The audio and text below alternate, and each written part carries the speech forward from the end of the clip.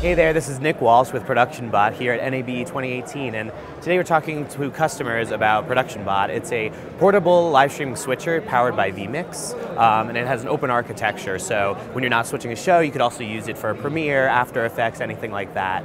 Um, it's powered by an AJA Corvid 88, uh, which gives you eight bidirectional channels of SDI. Um, it also works really well with NDI. Uh, vMix was one of the first people to um, adopt NDI into their workflow, um, and so what I have going on right now are two cameras powered over NDI, so I'm able to pull video and get full PTZ control all over one cable. So it's really great for simplifying workflows, and for something like this when you're on the go all the time, the simpler the better. Um, I like vMix a lot too because I, it's very flexible and I could program it to do exactly what I want to do. And um, it has these SSD on the side, uh, so that way you could just load up all your files onto an SSD, plug it in, and you'll be able to access them quickly.